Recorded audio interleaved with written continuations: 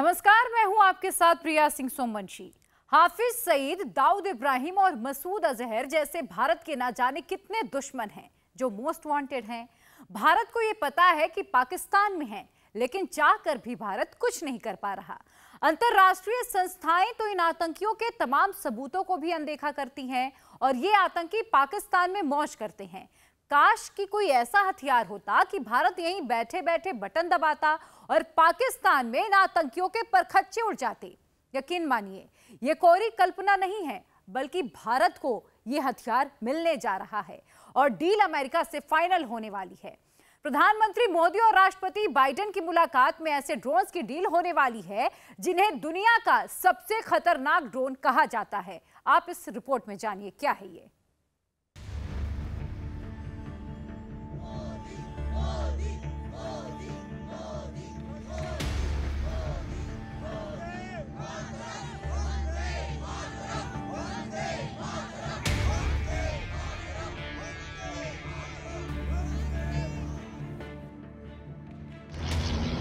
पाकिस्तान और चीन की टेंशन बढ़ाने वाला मोदी का अमेरिका दौरा शुरू हो चुका है। प्रधानमंत्री मोदी की अमेरिका यात्रा से पाकिस्तान की धड़कनें बढ़ी हुई हैं। मोदी बाइडेन की मुलाकात से पाकिस्तान का ब्लड प्रेशर बढ़ा हुआ है। नरेंद्र मोदी के स्टेट डिनर से चीन टेंशन में है। अमेरिका में बढ़ी भारत की ताकत से चीन पाकिस्तान की नींद उड़ी हुई है। मोदी के इस दौरे से चीन और पाकिस्तान दोनों इतने परेशान क्यों चल रहे हैं? इसकी असली वजह आपको बताते हैं। आज से 15 साल पहले 2008 में, मुंबई में पाकिस्तान के आतंकवादियों ने हमला किया था। इस हमले में शामिल कई पाकिस्तानी मास्टरमाइंड अभी तक पकड़े नहीं गए इन्हीं में से एक है 26 ग्यारह हमले का मास्टरमाइंड साजिद मीर, जिसे ग्लोबल टेररिस्ट घोषित करने के लिए भारत और अमेरिका संयुक्त राष्ट्र सुरक्षा परिषद में एक प्रस्ताव लेकर आए, लेकिन चीन ने अपने वीटो पावर का इस्तेमाल करते हुए इस प्रस्ताव को रोक दिया और पाकिस्तान की मदद करते हुए साजिद मीर को ग्लोबल टेररिस्ट घोषित होने से रोक दिया। इसीलिए भारत ने संयुक्त राष्ट्र सुरक्षा परिषद में चीन और पाकिस्तान को एक्सपोज करने के लिए साजिद मीर का ऑडियो सुना दिया। ऑडियो में लश्कर तैयबा का आतंकी साजिद मीर आतंकवादियों को कमांड दे रहा है दहशत फैलाने की बात कर रहा है। तो जो जहाँ पे आपको मूवमेंट नज़र आती है बंदा किस छत पे चल रहा है कोई आ रहा है जा रहा है उसको फाइट ठोको। उसे नहीं पता यहाँ पे क्या हो रहा है। इंशाल्लाह तो जो जहाँ पे आपको मूवमेंट नज़र आती है बंदा किस छत पे चल रहा है कोई आ रहा है जा रहा है उसको फाइट ठोको। उसे नहीं पता यहाँ पे क्या हो रहा है। इंशाल्लाह। अब इससे बड़ा सबूत और क्या हो सकता है? साजिद मीर पाकिस्तान में बैठकर आतंकवादियों को अंधाधुंध गोलियाँ चलाने को कह रहा है, दहशत फैलाने को कह रहा है, लेकिन इसके बावजूद उस पर प्रतिबंध नहीं लग सकता। वो ग्लोबल टेररिस्ट नहीं घोषित हो सकता। भारत ने दुनिया को सबूत समेत दिखा दिया है।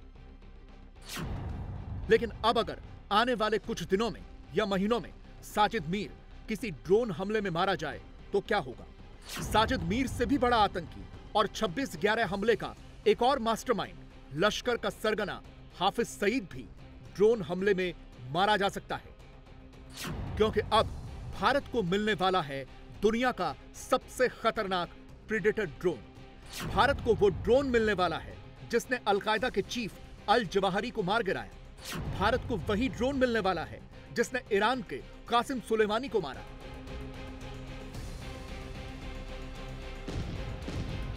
तो क्या भारत भी अब अपने बड़े बड़े दुश्मनों को यहीं से उड़ा देगा? क्या प्रिडेटर ड्रोन की मदद से भारत अपने दुश्मनों का सफाया कर देगा।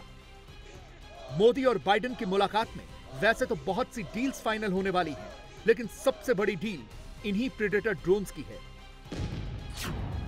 भारत अमेरिका से 31 high altitude long endurance drone खरीदेगा, जिनमें 15 MQ-9B सी गार्डियंस होंगे और 16 स्काई गार्डियन ड्रोन्स होंगे। ड्रोन्स का यह सौदा तीन अरब अमेरिकी डॉलर यानी करीब 24,603 करोड़ रुपए का होगा। अभी भारत की नेवी इनमें से दो ड्रोन्स का इस्तेमाल कर रही है लेकिन वो भारत को लीज पर मिले हुए हैं और वो दोनों भी हथियार बंद नहीं है। यानी अभी भारत इन ड्रोन्स की सर्विलांस की क्षमता से वाकिफ है। ये ड्रोन्स क्या कर सकते हैं? ये समझने के लिए आपको कुछ घटनाएँ याद करनी होंगी। तारीख थी 31 जुलाई 2022 जगह थी काबुल अफ़गानिस्तान। अलकायदा का सरगना अल जवाहरी अपने ठिकाने पर मौजूद था।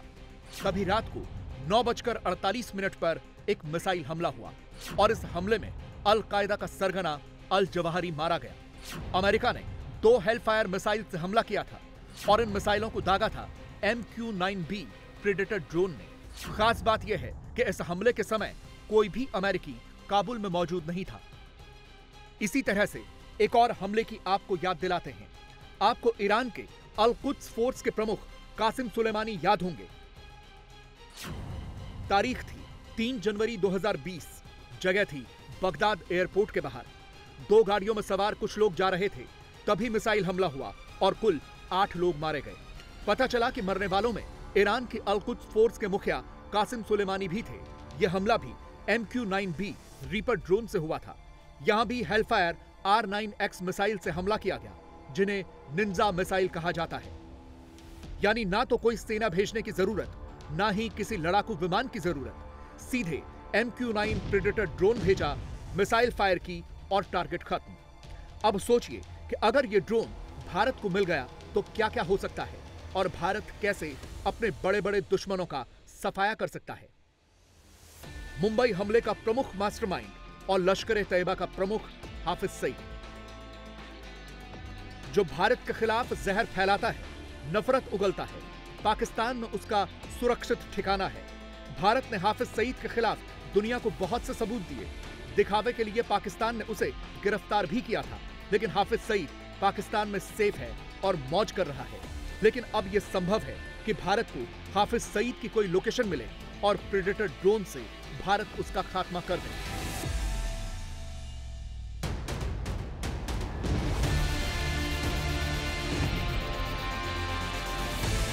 भारत का एक और प्रमुख दुश्मन है, दाऊद इब्राहिम। उन्नीस सौ तिरानवे के मुंबई बम धमाकों का मास्टरमाइंड। दाऊद पाकिस्तान में बैठा है, वहीं से अपना कारोबार चलाता है। भारत के पास दाऊद का एड्रेस और उसकी लोकेशन तक मौजूद है, लेकिन भारत मजबूर है।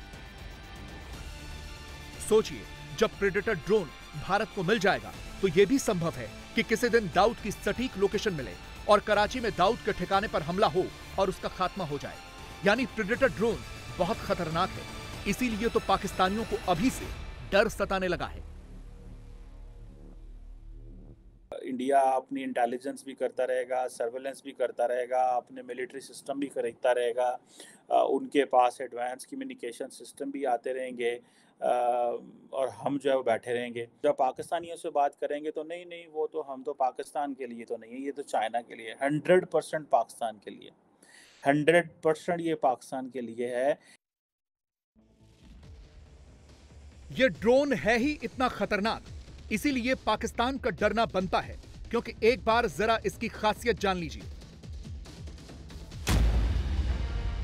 M Q nine B predator drone की लंबाई होती है अड़तीस फीट, इसके पंखों की लंबाई है उन्यासी फीट यह चालीस हज़ार फीट की ऊंचाई पर उड़ान भर सकता है, इसकी रफ्तार 388 किलोमीटर प्रति घंटे की होती है। यह 40 घंटे तक लगातार उड़ान भर सकता है। इसकी मारक दूरी 11,112 किलोमीटर की होती है।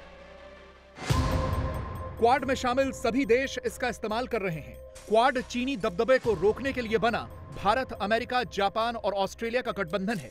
2020 में भारतीय नौसेना को समुद्री सीमा की निगरानी के लिए अमेरिका से दो M Q sea guardian drone एक साल के लिए लीज पर मिले थे।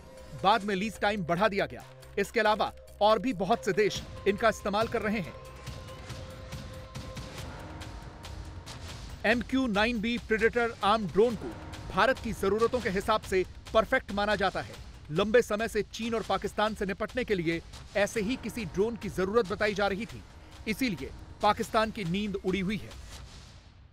इंडिया ने एक अपनी इंटेंशन शो की है कि जी हमें वेपनाइज्ड अनमैंड एरियल व्हीकल चाहिए एयरफोर्स आर्मी और नेवी के लिए। और इसी से वो समझते हैं कि हमारी सर्वेलेंस जो है वो बूस्ट हो सकती है। और वो कह रहे हैं हमें लाइन ऑफ़ एक्चुअल कंट्रोल पे चाहिए। लेकिन क्या ड्रोन का कोई, ड्रोन तो ले तो नहीं होना कि ड्रोन जो है लाइन ऑफ़ एक्चुअल कंट्रोल पे चल रहे हैं। ड्रोन एल पे भी चलेगा ड्रोन हमारी इंटरनेशनल बॉर्डर पे भी चलेगा। तो ये तो फिर हमारी तो इंडिया के साथ मसले ख़राब हो जाएँगे। बात है टेंशन होगी पाकिस्तान के मिलिट्री और डिफेंस सेक्टर में कि भाई वे डू वी स्टैंड मैं पहले आपको बताया कि एक वक्त था कि इंडिया अमेरिकन जब भी कोई चीज़ इंडिया को देते थे तो पाकिस्तान पूछता था, या पाकिस्तान को मिलती थी तो इंडिया पूछता था पाया नहीं की करें रहे हो?